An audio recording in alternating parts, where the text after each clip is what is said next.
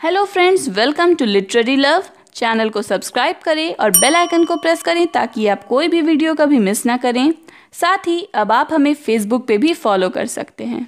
Friends आज की video में हम बात करेंगे famous Indian confessional poet Kamala Das की एक पोएम के बारे में, जिसका नाम है माई ग्रैंड मदर्स हाउस ये पोएम उनकी कलेक्शन समर इन कैलकाटा में पब्लिश हुई थी। फ्रेंड्स ये एक ऑटोबायोग्राफिकल पोएम है और साथ ही इसमें नॉस्टैल्जिया भी है। यानी पोइट अपने बचपन को याद करती हैं, अपनी ग्रैंड मदर को याद करती हैं और साथ ही वो इस बात से उदास भी हैं कि वो सब कुछ अब खो चुका है और कभी लौट कर नहीं आएगा, उनसे दूर हो गया है। फ्रेंड्स कमला दास एक इंडियन कन्फेशनल पोइट थी जो इंग्लिश में लिखा करती थी। उनका जन्म हुआ था थर्टी फ़र्स्ट मार्च 1934 को और उनकी डेथ हुई है थर्टी फ़र्स्ट मई 2009 को।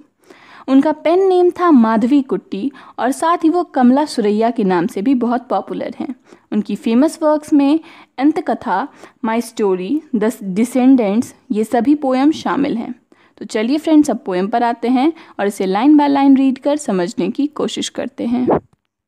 There is a house now far away where once I received love यानी वहाँ एक घर है, यहाँ से बहुत दूर, जहाँ कभी मुझे प्यार मिला था।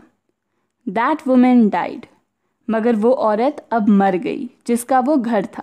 और ये औरत कौन है? तो ये पोइटिस की ग्रैंड मदर हैं, जो अब मर चुकी हैं और अब वो उस घर में नहीं जा सकती हैं। The house withdrew into silence यानी उनकी मौत के बाद उस घर में सन्नाटा छा गया, क्योंकि उस घर में रहने वाला अब कोई नहीं था। स्नेक्स मूव्ड अमोंग बुक्स और जो वहाँ पर किताबें थी मेरी ग्रैंड मदर की किताबें थी उनके बीच में सांप घूमने लगे।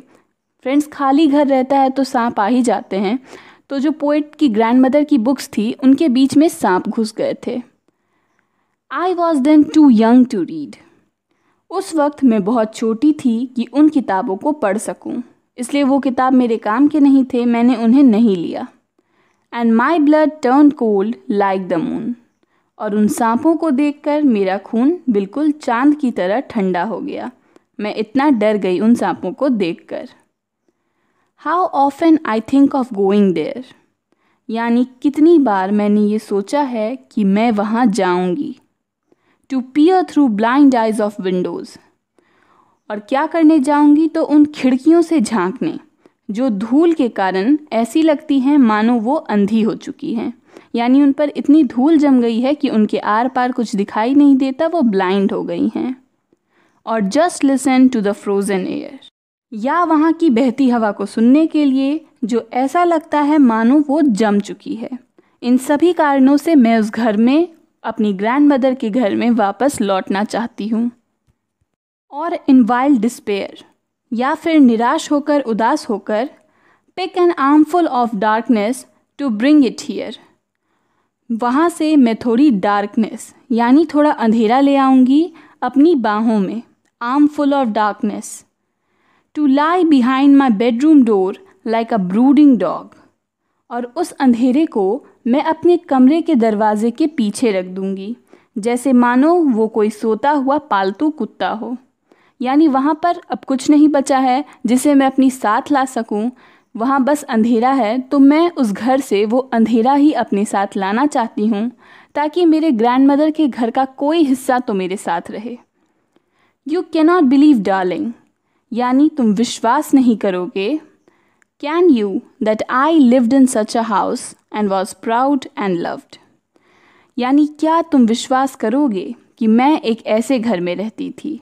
जहाँ अब सन्नाटा और अंधेरा है और वहाँ सांप घूमते हैं। और फिर भी मैं खुश थी, मुझे खुद पर गर्व था।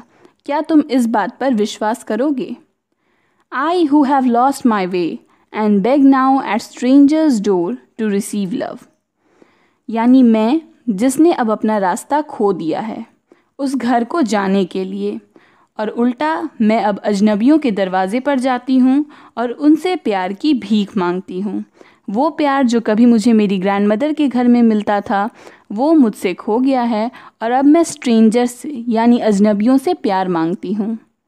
एटलीस्ट इन स्मॉल चेंज यानी कि अगर मुझे उतना प्यार ना मिले जितना मुझे मेरी ग्रैंड मदर के घर में मिला था तो कम से कम मुझे उसका छोटा छोटा हिस्सा ही मिल जाए। स्मॉल चेंज यानी उसका छोटा हिस्सा। तो फ्रेंड्स यहाँ पर ये पोएम ख़त्म होती है। पोएम बहुत ही सिंपल है। पोएट अपने बचपन को रिकलेक्ट करती हैं, याद करती हैं कि किस तरह वो अपने ग्रैंड मदर के घर में खुश थी और जिस तरह उनकी ग्रैंड मदर की डेथ हो गई, उनकी वो खुशी उनसे छिन गई। साथ ही इस पोएम में नॉस्टैल्जिया का एलिमेंट भी है, क्योंकि पोएट चाहती हैं कि वो अपने ग्रैंड मदर के घर का कोई भी हिस्सा अपनी ज़िंदगी में वापस ले आएँ, चाहे वो अंधेरा ही क्यों ना हो। तो फ्रेंड्स ये थी कमला दास की poem my grandmother's house